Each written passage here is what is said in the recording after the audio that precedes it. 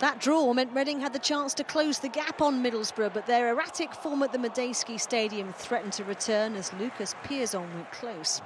Charlton's problems are more acute. They haven't won since the hazy days of August, and their plight worsened when Patrick Bauer's rash challenge on Nick Blackman cost him a second yellow card and an early bath. Reading weren't able to punish the visitors from the resulting free kick, but they did capitalise shortly afterwards. Blackman lurking with intent at the far post for a 10th goal of the season. And that result means Steve Clarke's side march on.